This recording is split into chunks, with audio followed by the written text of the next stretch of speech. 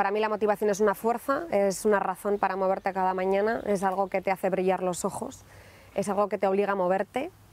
La felicidad necesariamente no te tiene por qué obligar a moverte. La motivación es algo que te hace moverte y, desgasta. Y entonces la gente me dice mucho, ¿no? Pero bueno, es que esto todos los días, estar motivado todos los días no, no es fácil. No, estar motivado todos los días no es fácil. Eh, hay que alimentar esa disciplina porque nos cansamos.